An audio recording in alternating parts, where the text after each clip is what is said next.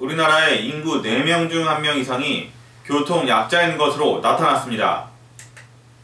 국토교통부가 전국을 대상으로 실시한 2016년 교통약자 이동편의 실태조사 결과에 따르면 작년 말 기준 우리나라 교통약자 인구는 전체 인구의 25.7%인 1323만 명으로 나타났습니다.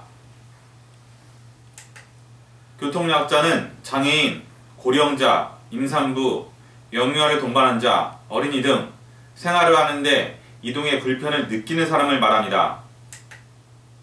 교통수단의 경우 항공기 만족도가 70점으로 가장 높았고 노후시설이 다수인 역에서는 62점으로 가장 낮게 나타났습니다. 6개 분야 9개 지표를 종합평가한 결과 교통약자가 가장 살기 좋은 곳은 서울과 경기도로 꼽혔습니다.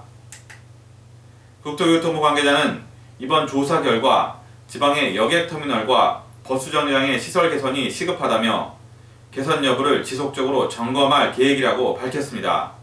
KSG 뉴스 배종환입니다.